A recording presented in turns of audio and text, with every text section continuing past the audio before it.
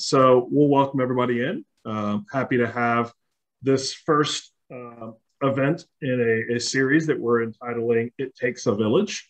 Uh, and really, for those of you on that have been or that have been here for a second, Laura and I were just kind of talking about how it's so appropriate that it really does take a village for for our community, for us individual, to make inroads. And we rely on so many people, whether it's the medical community, the therapists, each other.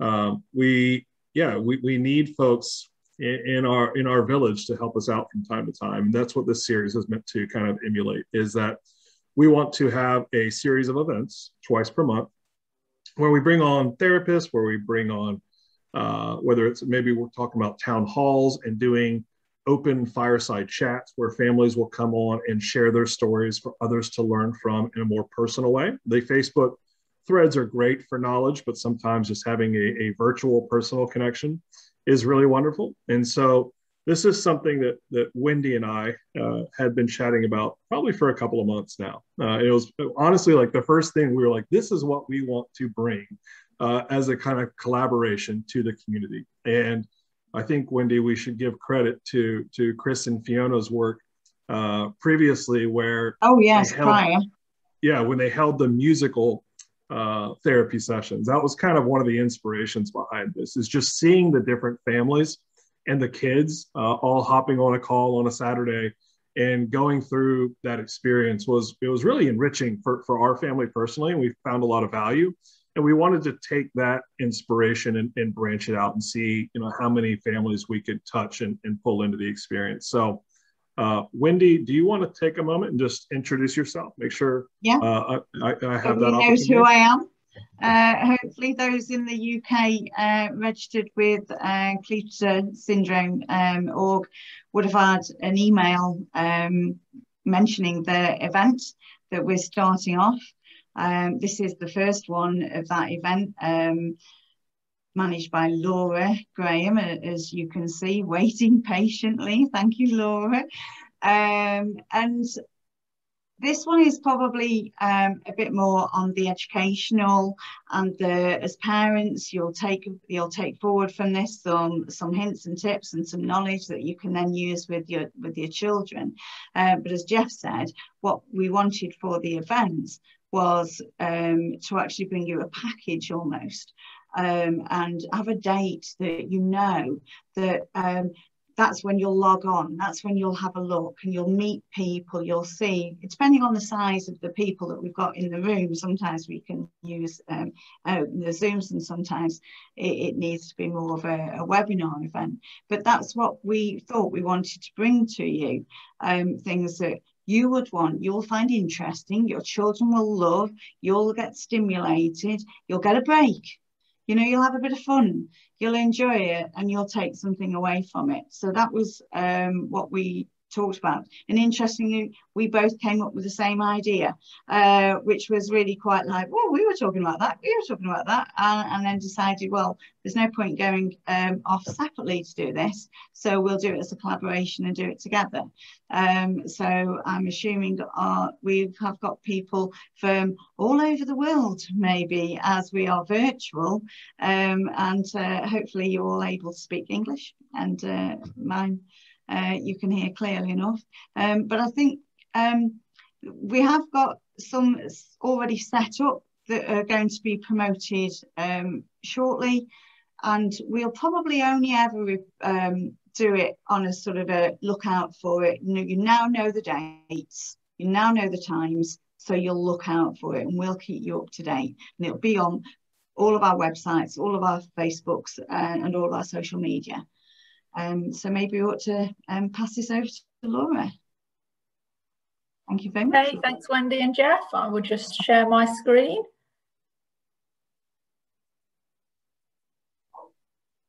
There we go. Just get that PowerPoint up. It's not the beginning. There we go. Thank you, everybody. Um, and hello and welcome to an introduction to sensory processing differences uh, that I've been asked to present today uh, by Wendy and Jeff. And just by way of introduction, my name is Laura and I am a paediatric occupational therapist practicing in the UK, in the Midlands. I have an independent practice, and that means that I work with individuals from very teeny tiny young children all the way up to, to 25 um, who have got additional needs that impact on their daily life. Um, before I um, set up my own independent practice, I worked for the National Health Service for a long time, working with individuals with learning disabilities and intellectual disabilities and conditions such as autism, cerebral palsy, as well as some lesser known conditions. Um, and today I'm here to talk about sensory processing differences that I think um, from some of the questions that I've had sent in prior to today is something that's piqued a lot of people's interests. So today we're going to look at the, the fact that we've got more than five senses. To some of you that won't be news and to others, others you might be a bit like, what, more than five? We're going to think about what sensory differences um, could mean for your child and what we can do to support our children's sensory differences. Going to look a little bit about the role of occupational therapists. Often we are heavily involved in equipment and adaptations but we can offer a lot more than that. And then we'll finish with just some useful links and organisations, and then an opportunity for any questions or or queries that anybody might have. You can type those into the the chat box, and and George and Wendy will kind of keep on top of that, and I can uh, to see if we've got some time to answer that at the end. So we will kick off now. So what is sensory processing? Um, I'm going to refer to it as sensory processing differences, not sensory processing difficulties or not sensory processing disorder. And that's because there is not a standalone diagnosis in the manuals that paediatricians, that psychiatrists, that medics use to make diagnosis. There is no such thing yet as sensory processing disorder. So when I'm referring to SPD, I'm referring to um, sensory processing differences.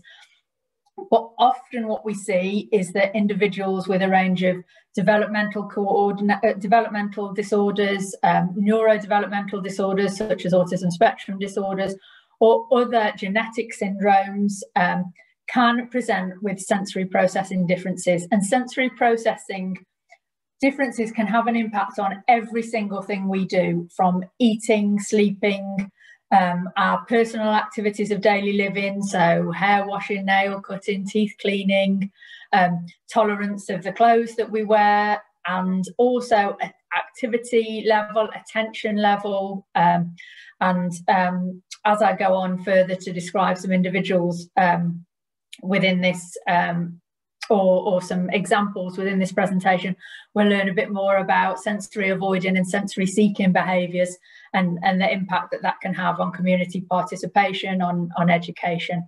So it really does um, touch across every element of, of life.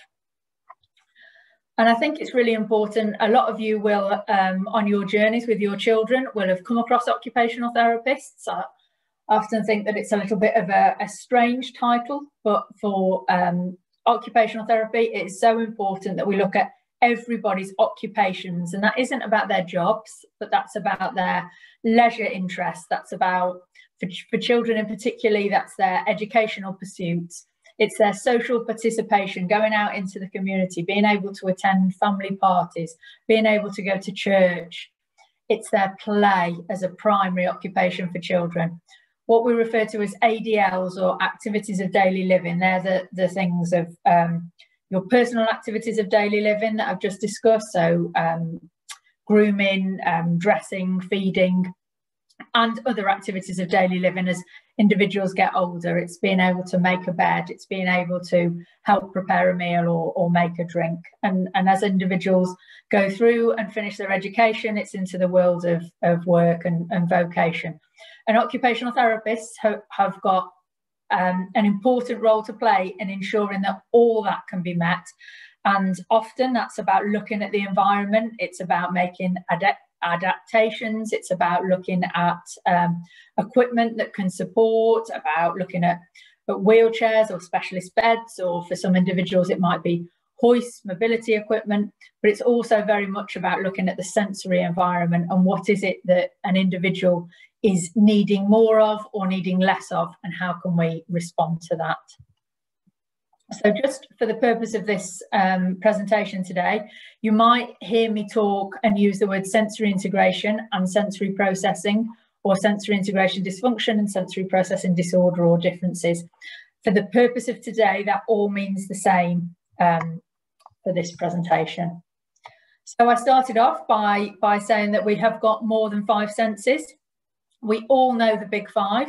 So our sense of hearing, our sense of vision, our sense of taste, our sense of smell, and our sense of touch, or to use the more formal phrases, our auditory, visual, olfactory, gustatory, and tactile senses. So most of us, we learn that we've got five senses. What we now actually know is that we have more than five senses, and we've got some of what we often refer to as hidden senses, and they are our vestibular sense and our proprioceptive sense and then our sense of interoception.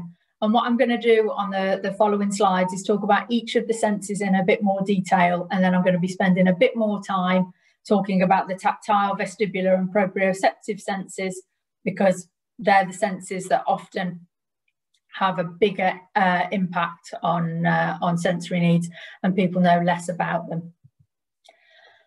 And I've just added this little cartoon in here because um, with sensory processing, we get all this information from our environment and our nervous system is the organ for sensory processing and sometimes it is just too much and some of you might relate with your young people that sensory overload can be something that is quite distressing for you all as a family and getting to the bottom of a, an individual's sensory needs is is so key because it has an impact not just on the child when they're dysregulated or distressed but on the whole family on everybody being able to participate in the things that they want to do.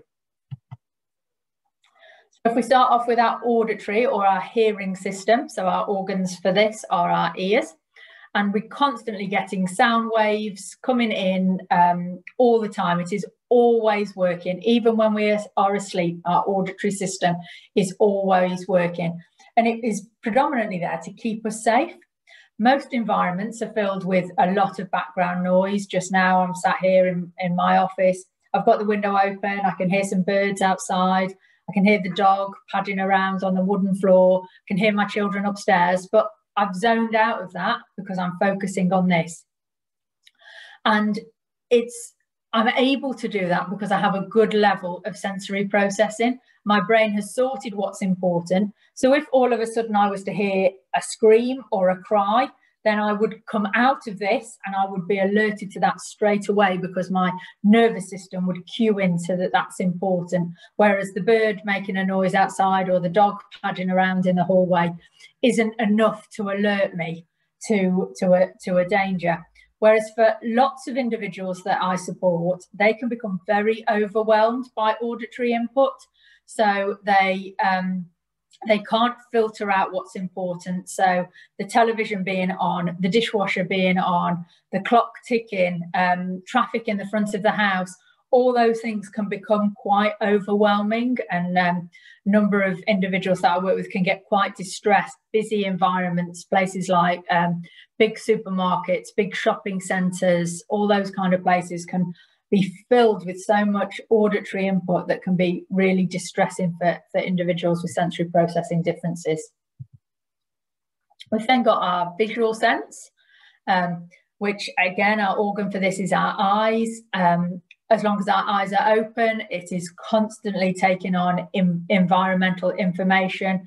So if you just think about a regular classroom, for example, for, for children, there's often really bright, colourful displays all around the walls. There might be artwork hanging from the ceiling. There might be blinds in the window that waft in the breeze.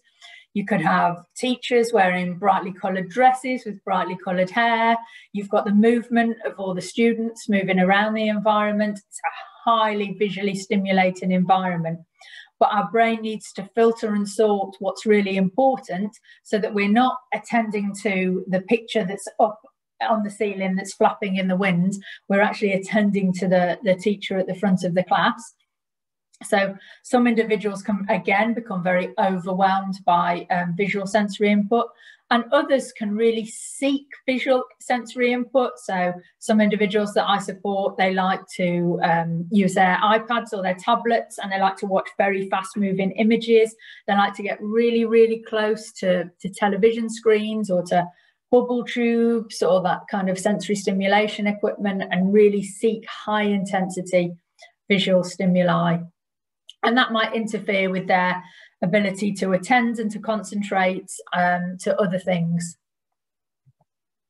We've then got our senses of taste and smell, or our gustatory and olfactory senses. And um, our sense of taste acts very much as a, a warning. If we think back to our, our ancestors, the um, cave people that would be out foraging for, for food and they might come across some berries, they might eat these little purple berries.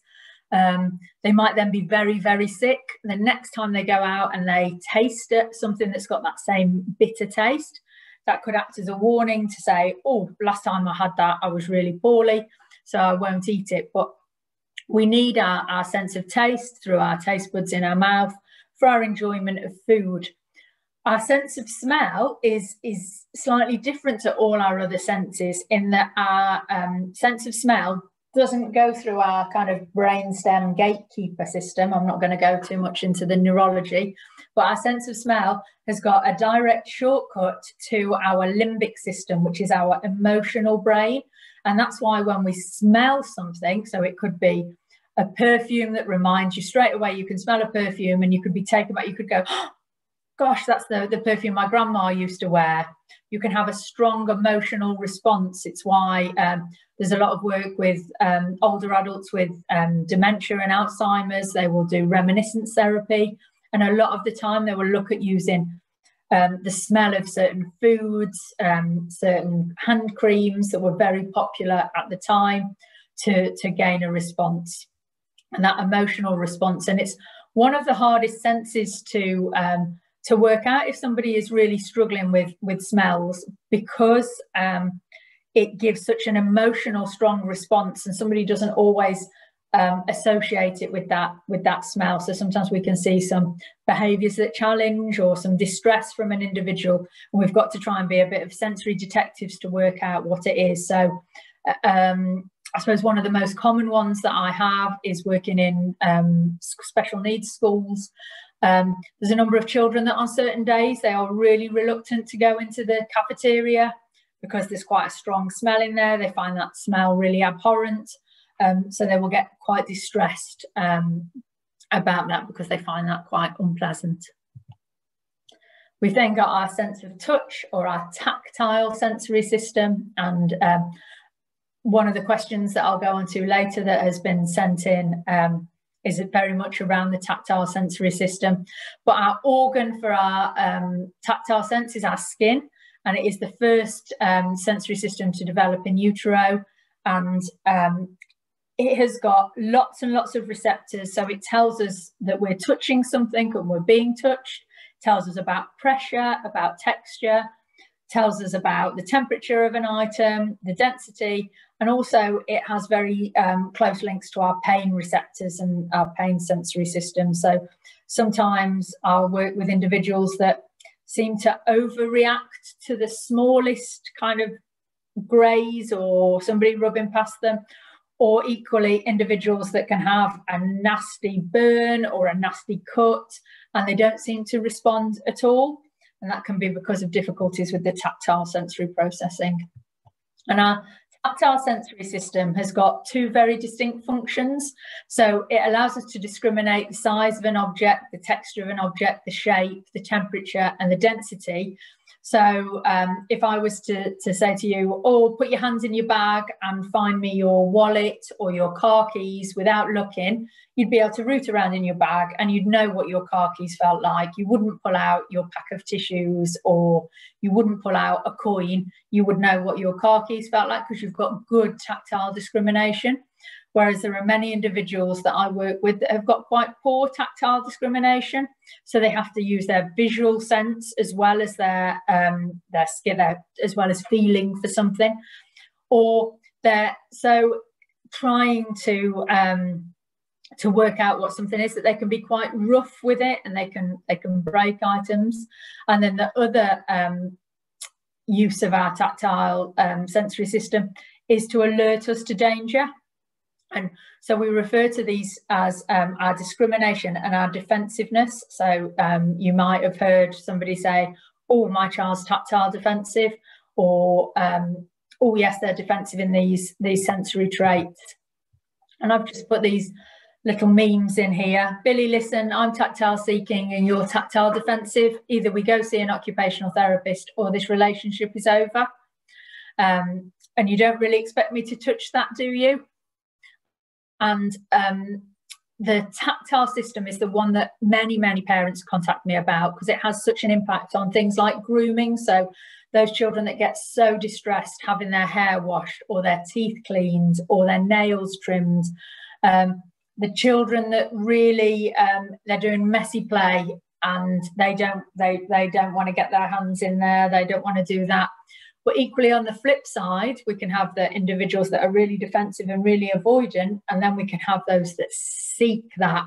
If they can be sat in the middle of a bowl of jelly if they can have it all down their clothes if they can be under the water in the water constantly enjoying that that water play, that messy play, that playing in the sand, they seek that to a to a high degree of intensity, and that's um, can sometimes be be a challenge when when that's what they want to do all the time. Um, and just this one, we're behind. I've I've had enough of these tactile defensive excuses. We're behind on the sandcastle project. We need hands in the sand.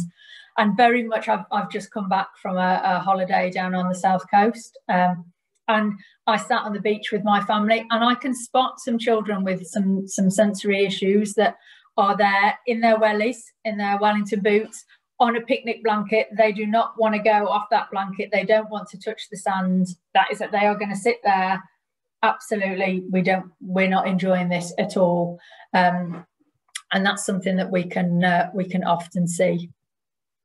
And then we've got these are the, the, the, new words maybe to some of you. Some of you may have heard this before, or your own occupational therapist may have talked about vestibular sensory processing for, for your children.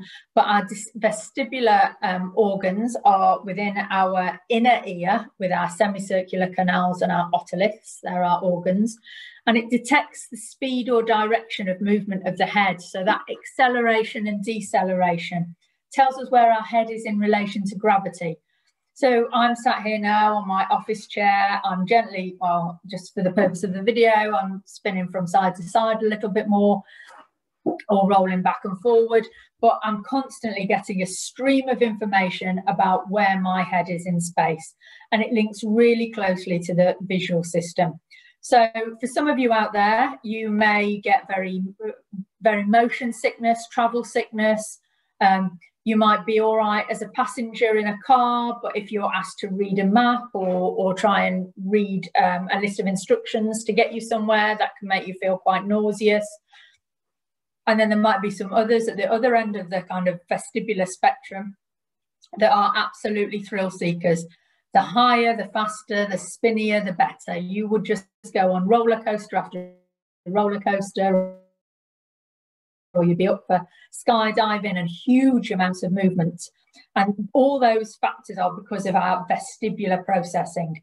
So um, it's it's very important, and it's why um, I'm I don't particularly get travel sick unless I'm trying to read something, and that's because while I'm I'm sat as a passenger in the car, my eyes are taking on that information as well as my vestibular system. But when I'm distracted and I'm looking down, that impacts on my vestibular processing and creates the, the nausea. So we can sometimes see some individuals that are, I would say, more nervous of movement. They can be more lethargic. They, they prefer to be on the ground, um, not seeking movement. And then other individuals that I work with are they are whirling dervishes or they are constantly in motion. That might be rocking within their wheelchair. That might be tipping from side to side. That might be flinging their, their head back. Um, in certain movements or when you're pushing them on a swing or, or when they're, they're, they're in a, a, a soft play centre or somewhere like that, they want to do it in the most daring way that they, they can to get lots and lots of vestibular information. And then we've got our sense of proprioception. So this is our sense of where our body is in, in space and it's um, our organs for this are our muscles, joints and ligaments. So every time we contract, flex and extend our, our muscles and move, we're getting that information about where we are in space. And it's generally an unconscious process. So we don't think about it, but proprioception is important for everything we do. For those of you that drive a car, it's really important that we have got good proprioceptive processing to know how much force to, to use on the accelerator and the brake. It's what um, I've just picked up this glass. I need good proprioceptive um, feedback to know to how hard to grip this this glass without it dropping on the floor, um, but equally not crushing it so much that it, it breaks the glass. It helps us to move. It's essential for all daily life activity. And without good proprioceptive um, input, we again rely quite heavily on our visual input so um, that's so important to, to think about in a number of our senses. When there's a challenge, we need good visual input. And what happens if we've got an individual who has got um, poor visual sensory processing or equally has got a visual impairment that can often um, sit side by side um, with many of the, um, the rare conditions that we, that we work with. So to, to do a, a short recap, Sensory processing is a neurological process that occurs in our brain and nervous system, and it organizes sensations for use in an unconscious way. We don't we don't go, oh, today I'm going to do some sensory processing. It just happens. And it gives meaning to everything we do and every piece of information that we receive from the world around us by sifting and selecting what is important and allows us to respond in a purposeful manner and the, the key thing, I think, often for, for parents and for educators and for those that I work with, is that sensory processing forms the foundation for learning and behaviour. And what we want is for individuals to be able to respond appropriately to the sensory world around them. And what we often find, or the reason why individuals get referred to a, an occupational therapist like me with a, a specialism in sensory processing, is because the behaviours become maladaptive. So they are so avoidant of certain sensory stimuli that that impacts greatly on their daily life, or they are so seeking of certain sensory stimuli that that impacts greatly on daily life, or as we'll go on to explore in a little while, their sensory profile can be at exact opposite. So they can be seeking in one sense and avoiding in another. And that can make um, life quite challenging to uh, to plan around. So a little um, kind of example that I like to give to, to further explain sensory processing differences is that it's a bit like divert, directing the traffic. Um, the sensations from, from all the different sensory systems flow into the brain like a traffic policeman directing traffic into a big major city. The brain locates thoughts and orders these sensations like a traffic policeman directing the moving cars. And when the sensations flow in a well organized manner, the brain can use these sensations to form perceptions, behaviors, and be ready for learning. But if you just imagine that traffic policeman was having a really bad day, he wasn't, he was thinking about something else, he'd just been told um, his application to, to have Christmas off has been cancelled so he just thinks, oh, stuff it, let's just let all the all the traffic come. You soon get a gridlock. Or equally, for the same reasons, if he just thinks, oh, I'm just going to put the stop signs out to everyone, no information comes in and the nervous system can't function. And that's a little bit like trying to explain what, what happens for some individuals that, that struggle with their sensory processing.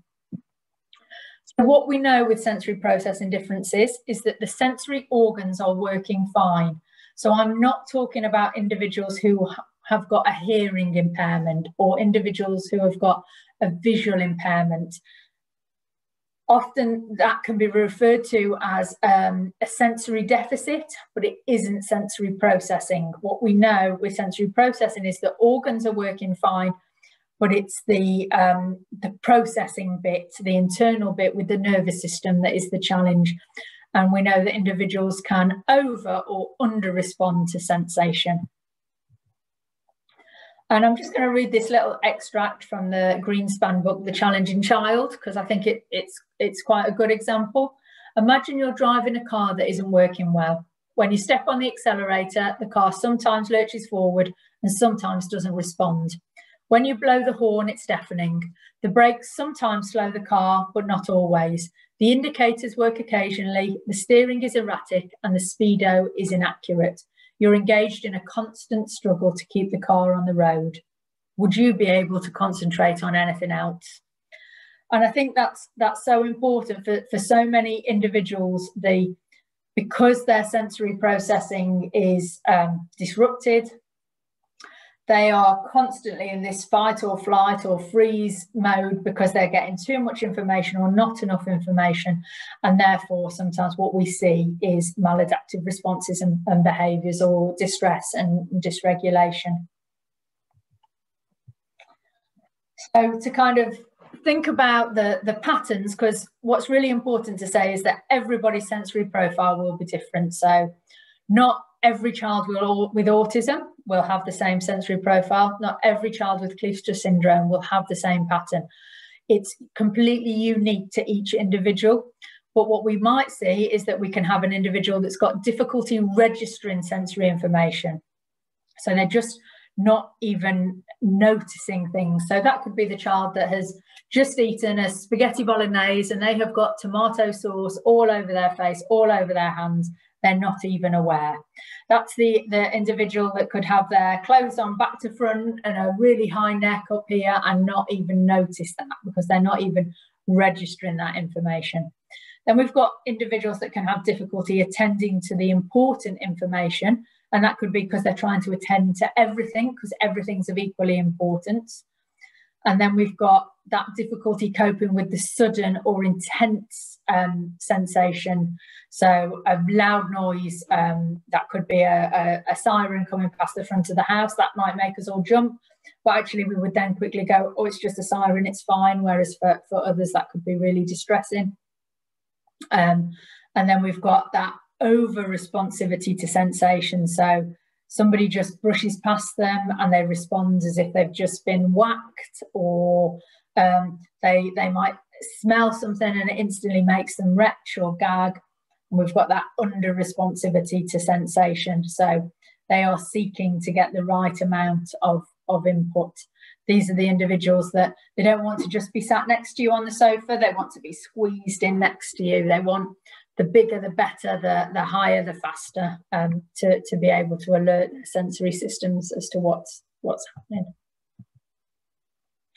And with um, sensory integration or sensory processing, we kind of consider that there are two types of difficulties. So we can have a sensory based motor disorder, which we would refer to as dyspraxia, and we can have a modulation disorder. And today I'm going to talk much more about the modulation disorder or difficulties rather than the dyspraxia side. That's um, a whole other discussion, and that has um, much more. Um, I think potentially that's more to, to take up with physiotherapy colleagues around the, the more movement motor control side of, of potential sensory difficulties.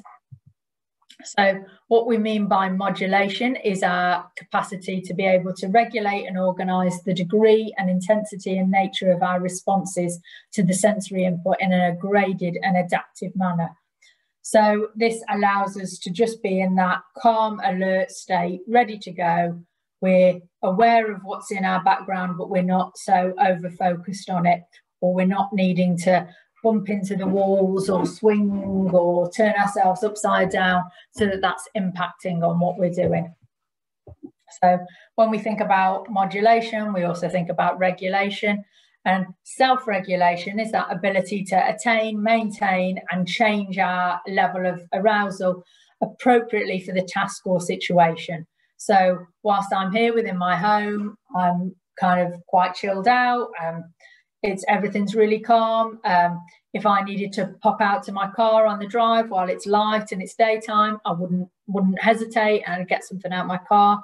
But if it was 11 o'clock at night and I realised I'd left my phone charger in my car and I needed to go out, my level of arousal would be higher because I would be aware that it's dark, what's that sound, what's that noise, and that's appropriate sensory processing to, to keep me safe.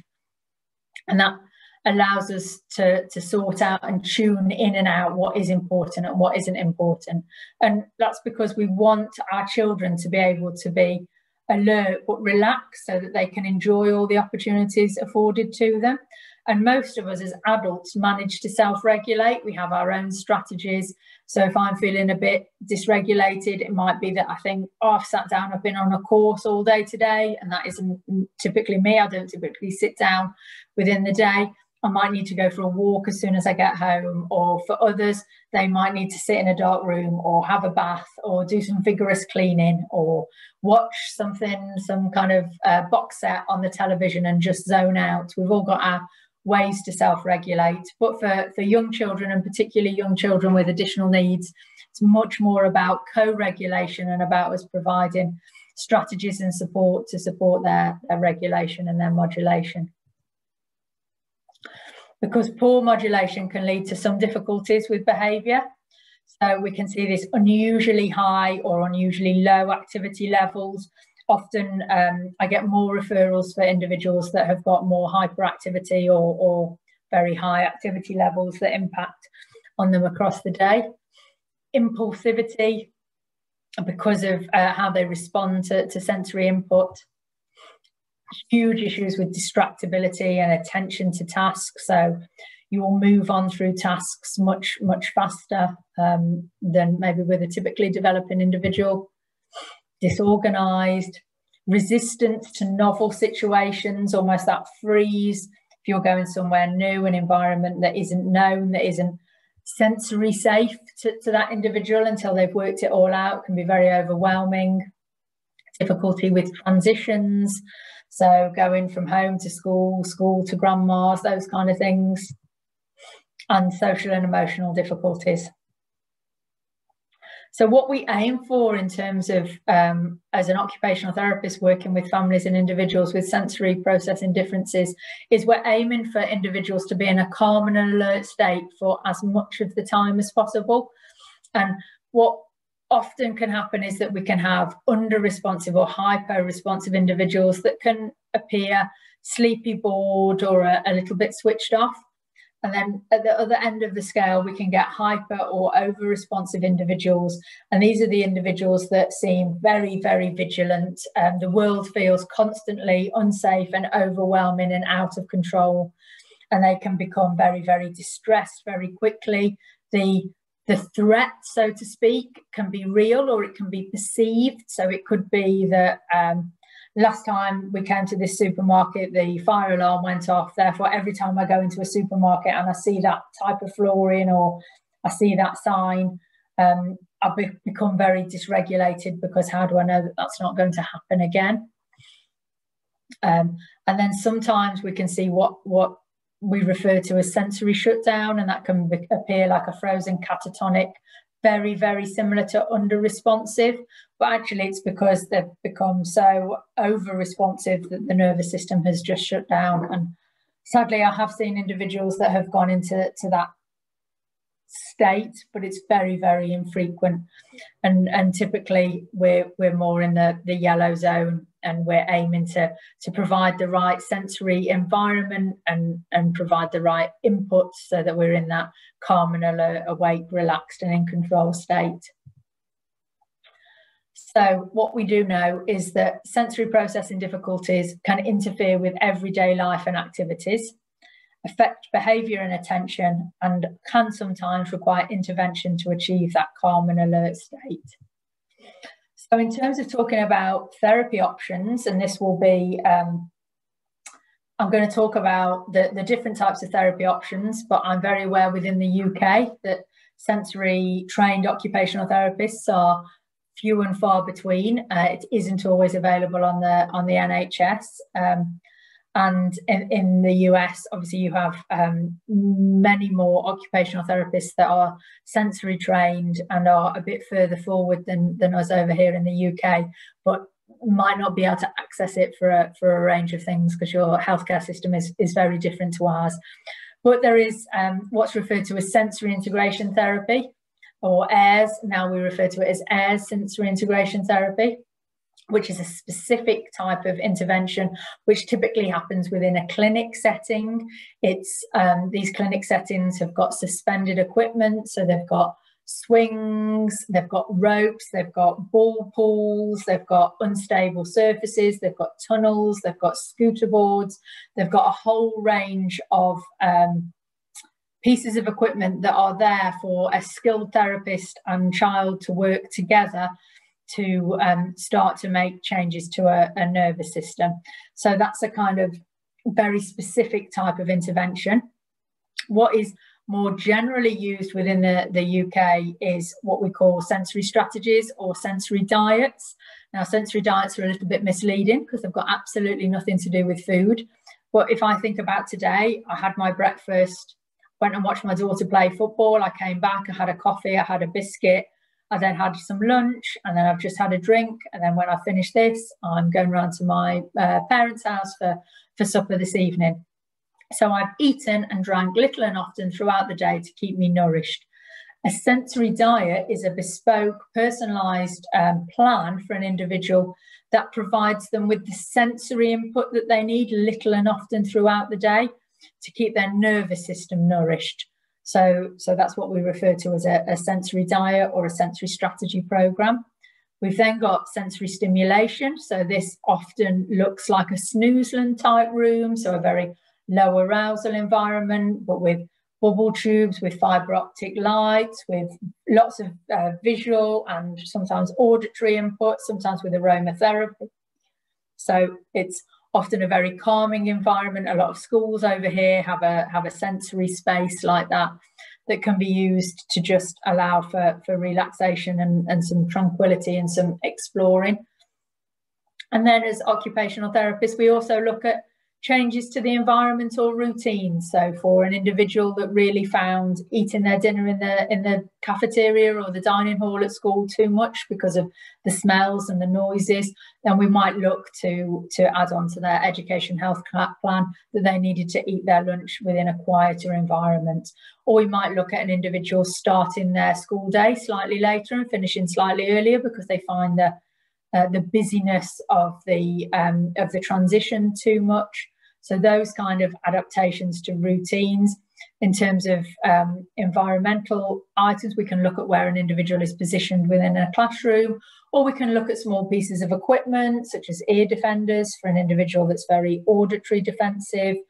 We could look at deep pressure garments to provide lots and lots of proprioceptive and deep pressure tactile feedback. So there is a variety of, of therapy options from an occupational therapy perspective to support any challenges within sensory processing. But what I will say is that that all needs to be done based on a, a really thorough assessment of your child. Um, otherwise, it's a bit like throwing, um, trying to, to do archery without a target.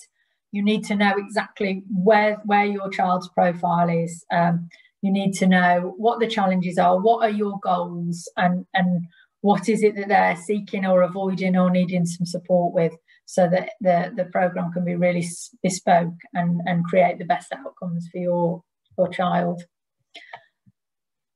So I'm going to talk a little bit about where I would start. So, um, and for most things, and, and most people that, that speak to me, they'll give me a scenario and I'll say, oh, we need to start with proprioception.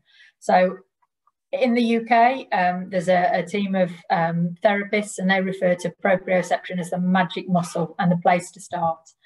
It, um, proprioception is a great organizer of all sensations. It can really help to regulate us if we can get a lot of proprioceptive input. So for those of you that have ever been um, suffered from motion sickness, actually, if you start to feel that you're getting a bit queasy or a bit unwell, pressing down hard, like trying to lift yourself off your chair with your hands or pulling on a pull-up bar or pressing your feet really hard into the ground to activate those muscles, joints and ligaments can actually start to make you feel a bit better.